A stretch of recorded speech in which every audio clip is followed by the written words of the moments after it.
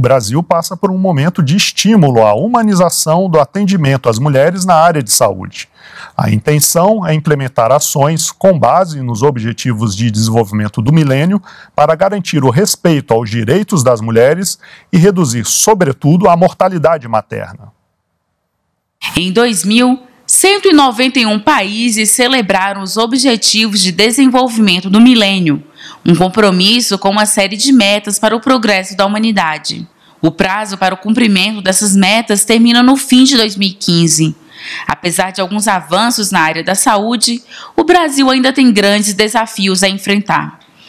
Quando se considera óbitos maternos, dificilmente atingiremos a meta de reduzir os índices em 75%, o que significa alcançar 35 óbitos por 100 mil. Entre 1990 e 2011, o indicador diminuiu de 141 para 64 óbitos. Parte do problema está no elevado número de cirurgias cesarianas. No país, 52% dos nascimentos se dão por cesárea, enquanto a média mundial é de 18%. A Organização Mundial de Saúde recomenda até 15%. Por outro lado, o número de mortes por câncer do colo de útero tem se mantido estável, 9 a cada 100 mil mulheres. Já a mortalidade por câncer de mama cresceu e, em 2011, chegou a quase 21 óbitos para cada 100 mil mulheres. No panorama dessa semana, recebemos a doutora Renata Reis, médica obstetra, e Edivaldo Batista de Sá, coordenador de estudos e pesquisas em saúde do IPEA. Bom, bem-vindos, bem-vindo, doutora Renata, bem-vindo, Edivaldo. Doutora Renata, ah, como a gente viu no gráfico, houve alguns avanços relevantes, né, no caso brasileiro, nos últimos anos, como a redução de mortalidade materna por câncer de colo de útero. Na sua opinião, uh, houve avanços realmente significativos, especialmente no atendimento da rede pública de saúde? Com certeza. Bom, o que o infográfico mostrou é que a, as mortes por câncer de colo de útero se mantiveram estáveis, não é? Mas, de maneira geral, houve uma redução significativa nas mortes maternas é, é, do país. É, com certeza, isso se deve a uma melhora da, da rede de saúde, do acesso dessas mulheres às ações de prevenção, principalmente no, na questão do, do, do, câncer de colo e da morte materna, isso diz muito a respeito da qualidade da atenção, porque uma mulher que faz o preventivo do câncer do colo do útero, uma mulher que faz as consultas de pré-natal, com certeza ela é melhor vista por esse serviço de saúde e corre riscos menores de ter efeitos negativos, desfechos desfavoráveis nessa, no decorrer da sua vida. Perfeito. Agora, Edivaldo, ah, o câncer de colo de útero e também o câncer de mama, né, eles são mencionados ah, expressamente nas metas de desenvolvimento, nos objetivos né, de desenvolvimento do milênio. Ah, esses dois tipos de câncer são, estão, né, aparecem entre as principais causas de mortalidade entre mulheres no Brasil? O câncer de colo de útero e o câncer de colo de mama são, eh, estão entre as principais causas de morte de mulheres de 30 a 69 anos por neoplasias. E em termos de mortalidade geral das mulheres, eles figuram entre as, as dez principais causas, sendo que o câncer de, de mama é o sétimo colocado e o de colo de útero o décimo colocado, a última estimativa que eu vi. Perfeito. Agora, há outras causas que você poderia mencionar como as principais né, de mortalidade de mulheres no Brasil, além dos dois tipos de câncer? Ah, um, geralmente a liderança é de, de a acidentes vasculares cerebrais. É, importância também tem muita importância também é, diabetes é uma outra causa relevante, uma série de outras causas, mas geralmente a liderança é, é AVC, infarto, é infarto doenças, do, do, a doenças do aparelho circulatório, doenças exatamente. crônicas não transmissíveis, ah, diabetes, como uh, diabetes, por exemplo. Ok. Agora uh, doutora Renata, quais ações efetivamente permitiram né, reduzir a mortalidade feminina por câncer no Brasil? Quais são os pontos principais que a senhora poderia mencionar?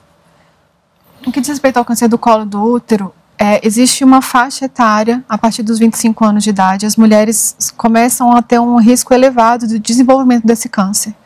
Então, uma atenção maior para esse público-alvo que deve é, ter o rastreamento do câncer do colo do útero feito com mais eficiência, acho que é a principal efetividade. Mas, é, mais recentemente, a campanha de vacinação contra o HPV, a gente ainda demora alguns anos a gente ver o resultado dessa campanha, mas é uma iniciativa bastante importante, isso tudo por meio, principalmente, do fortalecimento das ações no nível da atenção básica.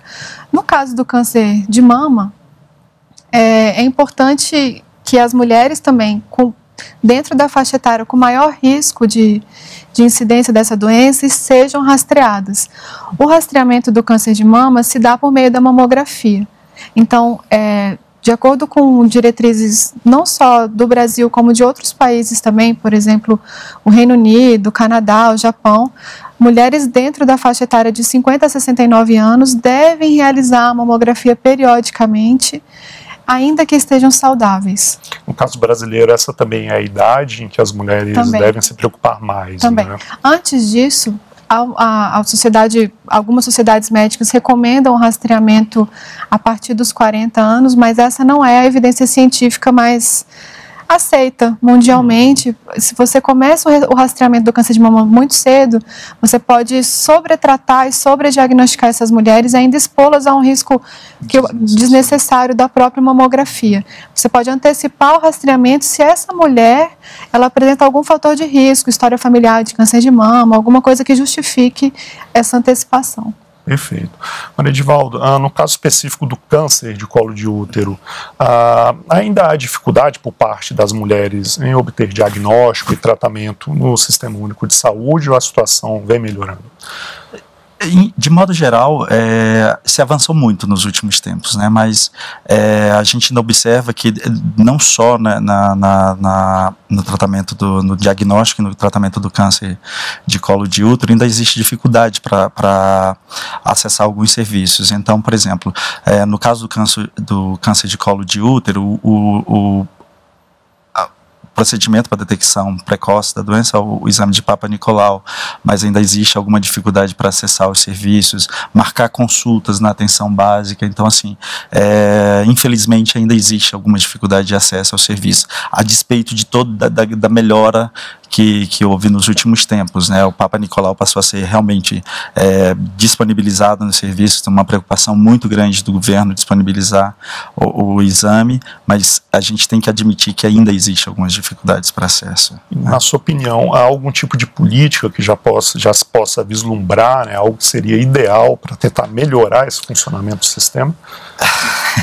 Esse tipo de questão geralmente é mais difícil da gente responder, porque o, o que a gente vê é que é, existe um grande esforço por, por parte do governo, a gente vê do parte do governo federal, mas a gente tem que lembrar que o sistema é um sistema descentralizado e aí a organização é né? a organização de rede, de disponibilizar os serviços não nem sempre é trivial, mas é, na minha opinião, as coisas têm melhorado bastante. Não quer dizer que elas já chegaram num ponto ideal, é óbvio, né? Mas elas têm melhorado realmente bastante. Ah, eu acho que tem um, um estudo da, da, de uma dessas sociedades aí é, representantes de classe que, que mostra exatamente isso, as dificuldades que ainda tem para se acessar alguns serviços e tudo mais. Perfeito. Mas de, de modo geral a, a coisa tem melhorado Ótimo. bastante. Olha, doutora Renata, a, gente praticamente todo ano né, observa campanhas né, de prevenção ao câncer de mama no Brasil. O que, que se explica, então, como que se poderia explicar a elevação, né, no caso de, de, de, câncer de mama aqui no país? Né? Há algum ponto específico que ajuda a justificar isso? Bom, é, primeiro a gente pode identificar talvez um aumento no registro dos casos, certo. que antigamente não eram registrados e agora são melhor registrados e notificados. Esse é um componente de, uhum. que pode estar colaborando com esse aumento. Fora isso, a gente percebe que há um aumento no mundo da incidência de câncer de mama, não é só no Brasil. E o câncer de mama ele é um câncer que está relacionado a fatores da vida moderna, assim, uso de hormônios, estresse, sedentarismo, tabagismo, várias coisas, são vários fatores que estão relacionados na gênese da doença. Perfeito. Então, a prevenção desse tipo de doença passa também pela adoção de um estilo de vida mais saudável, de uma alimentação mais saudável, prática de atividade física, cessar vícios e, e essas coisas. Perfeito. Agora, Edivaldo, ah, em relação à vacina né, contra o HPV, uhum. ah, o vírus do papiloma humano, uhum. ela começou a ser aplicada em todo 2014, né? Uhum. Eh, idades entre 9 e 11 anos. 13 né? anos. E, 9 e 13 e anos, 13 anos, então, perfeito. Agora, a primeira dose né, que foi aplicada, ela teve uma alta taxa né, de sucesso, praticamente 100% uhum. de, de cobertura. Já a segunda não, né, ela ficou por volta de 60%. Né? Uhum. Alguma explicação para essa redução, essa queda na segunda dosagem? A, a grande explicação que a gente tem é começou uma discussão ainda há um, há um, tempo atrás sobre os riscos de diversas vacinas, né? Começou com principalmente com a vacina tríplice, que um pesquisador que parece que se deu o trabalho de forjar alguns dados chegou à conclusão de que ela causava autismo. Desde então, uma, uma espécie de pânico se instalou contra a vacina, é, e não só no Brasil. Agora, recentemente mesmo, teve toda uma epidemia, um, uma epidemia de, de um surto na verdade um surto essa expressão, de, de algumas dessas doenças em, nesses parques temáticos dos Estados Unidos, que e terminaram, alguns casos foram importados para o Brasil. É, então, é, o, é, na minha opinião, o grande problema foi isso. Teve toda uma divulgação na mídia de alguns problemas que ocorreram e tudo mais, e isso causou um certo receio das pessoas. É, e eu acho que o governo não teve tempo é, de, de, de, de, de agir contra isso, conscientizar melhor as pessoas da importância da vacinação e tudo mais. Perfeito. Né? Mas essa questão uh, do efeito colateral grave uh, por conta da vacina não está comprovado, então. Não há nada. É, até onde meu conhecimento chega, não. É, não. Perfeito. É, Maravilha. É uma vacina nova, então às vezes é. a gente precisa de um pouco mais de tempo de pesquisas para avaliar uhum. o efeito dela na população. Perfeito. Muito bem. No próximo bloco, as novas normas da Agência Nacional de Saúde Suplementar para Cirurgia Cesariana será o nosso assunto. Não saia daí.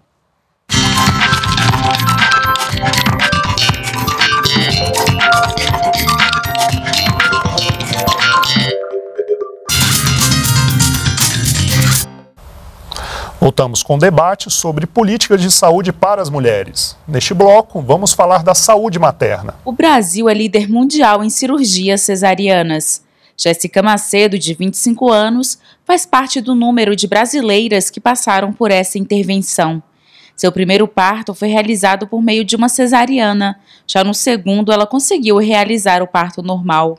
Eu sempre quis parto normal. Minha mãe teve quatro filhos de parto normal e eu achava que aquele era o caminho natural. E aí a gente chegou às 41 semanas de gestação e ele chegou e falou: Jéssica, ou você faz uma cesariana ou você procura outro médico.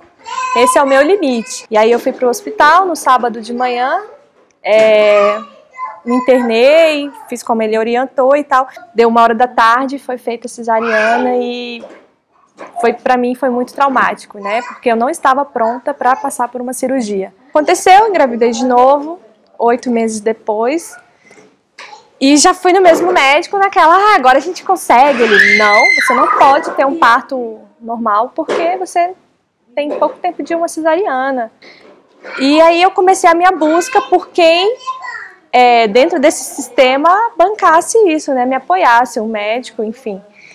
Chegou o grande dia, entrei em trabalho de parto, a minha doula ficou comigo o máximo tempo possível em casa para a gente né, sentir o ambiente, deixar a coisa acontecer, fluir. Fomos para o hospital, a gente chegou, desceu para a salinha lá de parto, entramos na banheira e dali eu só saí com meu bebê no colo. Assim, é uma experiência única.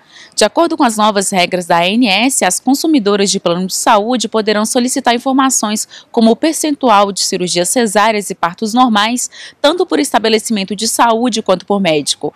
O uso do cartão da gestante pela seguradora também passa a ser obrigatório com a, a, vinda da ciência da mulher, o estudo da mulher, onde patologizou demais o parto, medicalizou, é, os avanços da medicina, o antibiótico, a anestesia, a analgesia do parto, é, para a sociedade foi assim, nossa, que bom, estamos salvas, né? Porque a mortalidade era muito grande.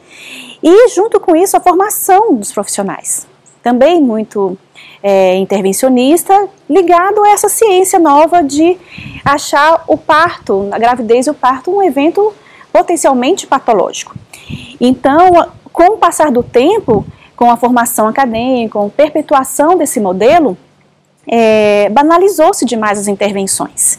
Então, aquilo que um dia veio para nos amparar na nossa saúde, para alguns casos específicos, se tornou um prejuízo para os casos que não precisam. Agora, um outro ponto que, que hoje acontece muito é, é cada um na sua casinha mesmo. Esse é um ponto complexo e que se as equipes começarem a se falar mais, essa assistência multiprofissional, né, onde você vai ter psicólogo atuando no pré-natal, onde você vai ter um médico atuando no pré-natal, onde você vai ter enfermeiro e obstetriz atuando no pré-natal, mas isso atuando sinergicamente, é possível ter uma mudança também de cultura na formação. Bom, doutora Renata, a meta global nos Objetivos de Desenvolvimento do Milênio é de reduzir né, em, de, é em 75% né, os casos de mortalidade materna até o final desse ano, até o final de 2015. Pelo que se pode observar hoje dos nossos, dos nossos dados, isso vai ser possível ou não?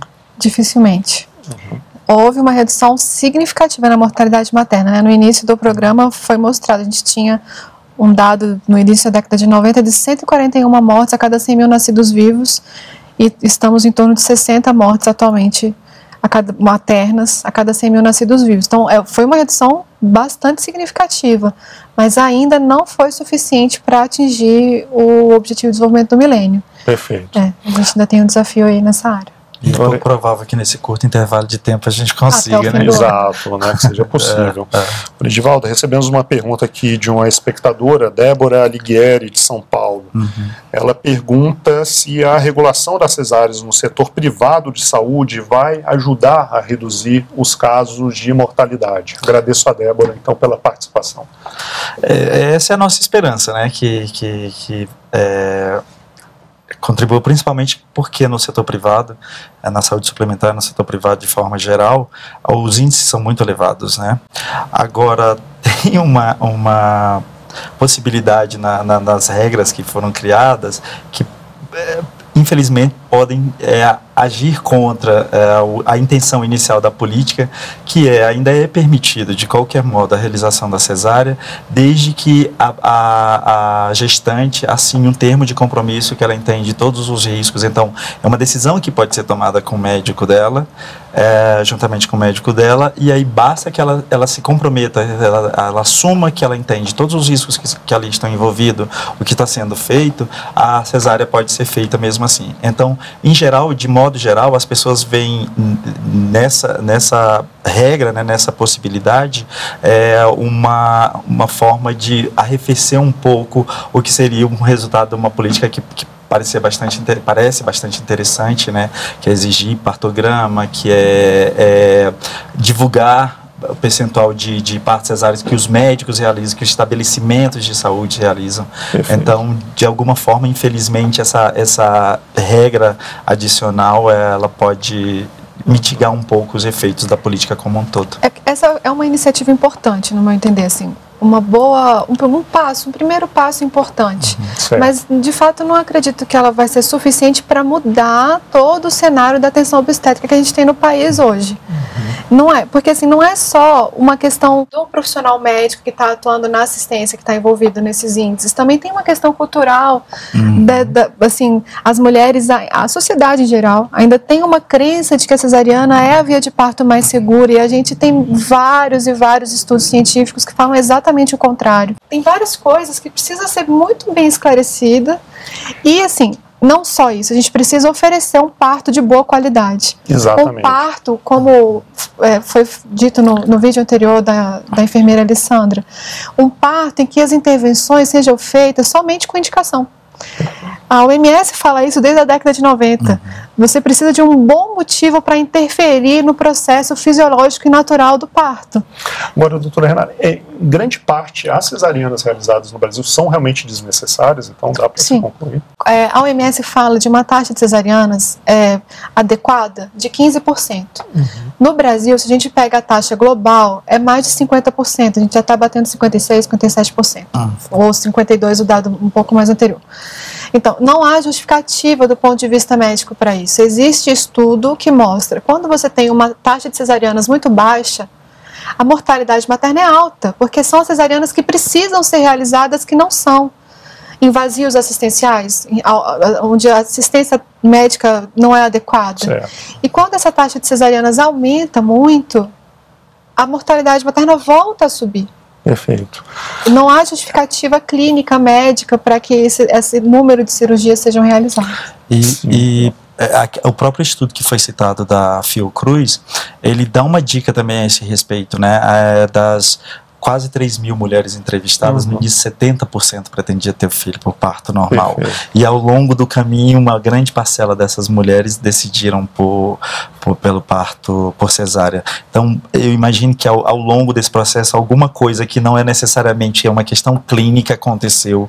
Que, que... Agora, existe também, né, Edivaldo, uma ideia, uma noção, né, da, da, talvez da mulher brasileira, de que o parto normal é mais dolorido, mais arriscado, essa questão cultural que a doutora Renata mencionou, é, é por aí. Também. É grande razão, na maioria dos estudos é apontada como uma grande razão para preferência das gestantes por, pelo parto cesáreo é a dor elas sempre alegam a dor. É, eu não, tenho capacidade de entrar nessa questão da dor, de comparar a dor de um detalhes, com o outro. Né? Mas a gente, como disse a doutora Renata, a gente sabe muito bem que os riscos são muito maiores. É, um, um último estudo que eu vi, ela, como ela mesma mencionou, a, o risco de morte é, é, muito maior, mais de três vezes, 3,5 vezes foi a, a estimativa feita, e de infecção puerperal, que é a principal causa de mortalidade materna, também é cinco vezes maior no parto é, por cesárea do que no parto normal. E no que diz respeito à dor, acho que é importante pontuar assim: a dor do trabalho de parto existe? Claro que existe, a gente não pode falar que não. É uma dor insuportável? Absolutamente não é. Se fosse insuportável, a humanidade não existiria, porque a cesariana é uma aquisição muito recente na história da humanidade. Então, a, a natureza ela traz em si uma sabedoria. A dor dura um minuto e você fica três, quatro minutos absolutamente normal, sem nenhuma sensação dolorosa. A cesariana, ela te traz dor também. É uma cirurgia abdominal de médio para grande porte, você tem aquela dor do pós-operatório no momento em que você precisaria das suas competências íntegras uhum. para cuidar do recém-nascido, para se recuperar, para amamentar. De que dor nós estamos falando? Uhum. Outras dores, me perdoa Sim. se eu concluir, outras dores também associadas ao, ao parto, que a gente precisa olhar para elas, são as dores, por exemplo, de estar num ambiente frio, impessoal, sozinha, sem um acompanhante, quando a gente tem uma lei desde 2005 que assegura o direito da presença de um acompanhante. Certo. Isso a gente precisa pensar. Uma mulher que não tem liberdade de escolher a posição em que ela quer ficar durante o trabalho de parto, que fica restrita ao leito em posição ginecológica, isso piora a dor dela. Agora... Que não tem acesso aos métodos de alívio da dor, existem vários métodos. Um banho quente, uma massagem. Há vários mecanismos para tentar aliviar. Há recursos. E é assim, o que a gente vê as mulheres que passam por esse processo é uma, uma elas ficam muito gratas, muito gratificadas. Por, é um desafio que vale a pena. E muito diferente de uma dor que significa uma doença, essa dor também é boa porque ela te mostra, olha, tem alguma coisa errada ali. Pode a dor, o caminho, problema. Né? A dor do trabalho de parto é a dor que traz a vida. Mas em relação aos médicos, uh, doutora Renata, na sua opinião, eles são devidamente preparados também no Brasil para a realização de partos normais? Eu não, eu, a questão para mim não é a realização em si do parto, embora ainda são ensinadas intervenções de, eh, eh, que acabam sendo incorporadas à rotina da atenção e que não devem ser de rotina. Por certo. exemplo, colocar soro com ocitocina, que é um hormônio para acelerar as contrações do trabalho de parto, colocar a mulher em posição ginecológica, realizar a episiotomia, que é o corte no períneo teoricamente para facilitar a passagem do bebê, a gente sabe que do ponto de vista científico isso não tem mais embasamento. Aquela manobra de fazer pressão no fundo do útero, chamada manobra de Cristelé, hum. são práticas é, rotineiramente empregadas que não tem mais embasamento científico. Então, assim, existe uma crise, por, é, por isso que eu falo que as medidas da ANS são uma boa medida, trai, coloca o assunto na pauta da sociedade, mas elas não são suficientes. A gente precisa de uma mudança tão tão multifatorial, assim, cultural, social, da formação dos profissionais. Uma mudança ampla. Ampla, né, de modelo. É, bem. de paradigma de atenção mesmo. Perfeito. Ah, e eh, só complementando o que a Renata, a doutora Renata falou, é, tem um estudo sobre uma maternidade pública no, no Rio de Janeiro que os médicos residentes eles alegavam o seguinte, que é, é, sabiam da importância do, do- das manobras obstétricas, mas não se sentiam seguros a fazê-lo, mas não tinham nenhum problema em fazer cesariana. Perfeito. Bom, muito bem. Queria agradecer, então, a presença da doutora Renata, a presença do Edivaldo aqui no Panorama IPEA. Eu agradeço em especial a você que nos acompanhou. O Panorama IPEA fica por aqui. Até a próxima.